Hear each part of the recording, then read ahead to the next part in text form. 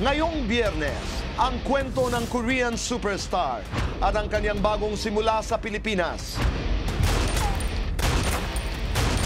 Kim Ji-soo.